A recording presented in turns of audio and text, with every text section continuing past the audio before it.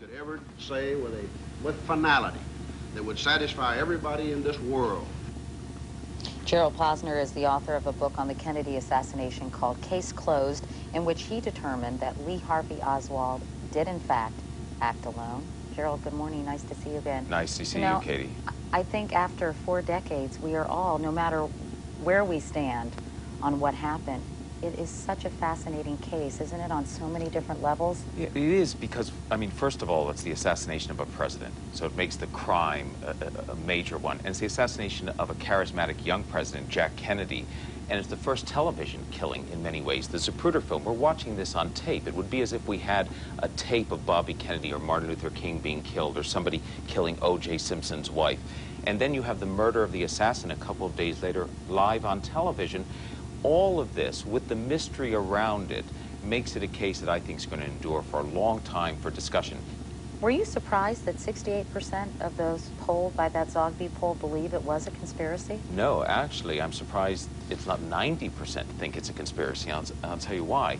You get the Warren Commission coming out with a result a year later that says Oswald alone. First of all, Katie, the whole idea of a blue ribbon panel telling us, the American people, a bunch of middle-aged white men sitting behind closed doors for a year on the assassination of the president, and then coming out with a report that says, oh, by the way, the assassin alone, not explaining his motivation, not investigating the mob connections into Jack Ruby, all things that look terrible, not looking into the possible cover-up by the FBI and CIA.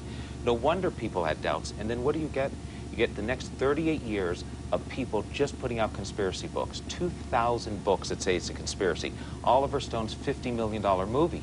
No wonder, I'm not surprised, people have heard only one side of the story, that 90% don't say it's a conspiracy. Well, when you started your book, Case Closed, I know you believed there was a conspiracy, so you did not necessarily set out to say Lee Harvey Oswald acted alone, but eventually, and I'm, I'm assuming, Gerald, you did tons and tons and tons of research and investigating. There, there was a time it was actually difficult to walk through my apartment because there were papers piled up everywhere, much to my wife's great dismay. I will tell you that, Katie, anybody who starts out to say it's Oswald alone should have their head examined because as a good investigative reporter, you have to look at this case and think there are a lot of questions. My suspicions were about the mob because of Jack Ruby.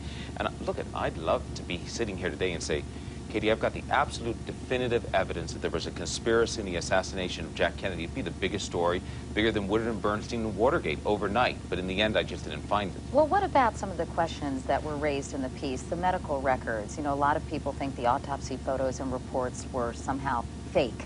You have mysterious events surrounding the actual assassination, the grassy knoll, people, eyewitnesses saying they saw a gunman right. from another direction. You have the bullets, uh, you know, the, the wounds in the back of the head as well as the throat, which seems to suggest they were coming from two different directions. And then you have Lee Harvey Oswald himself. I think that one of the most difficult things about this case, and the, and the reason that it will never be resolved in many ways, is what you just said, the evidence, because you have to determine what the evidence is and what you agree that you're going to use in saying what happened.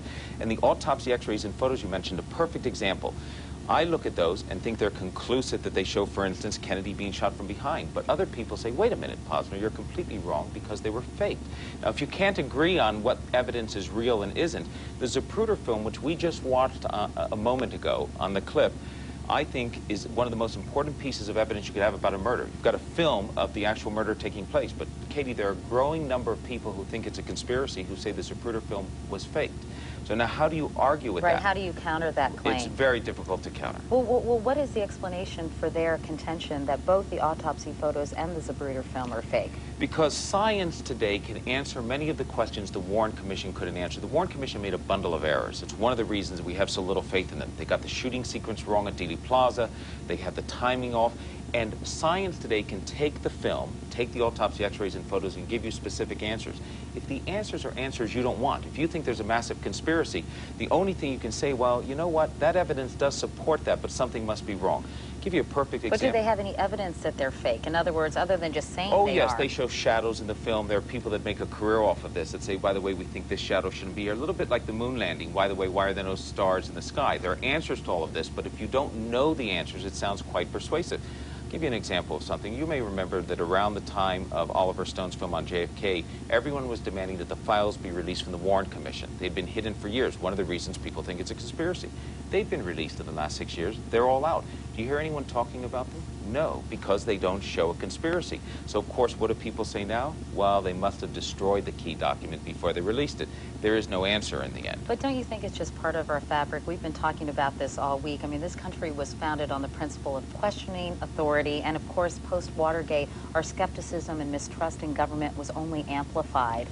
So Yeah. it almost seems natural that people are suspicious. And as you say, the Warren Commission only may underscored that, that they did have a reason to be suspicious. Oh, I agree. There are many reasons to be suspicious in this case, and, and you hit them right here. Not only are we skeptical, but in some ways, I call this the mother of all conspiracies. This is our loss of innocence.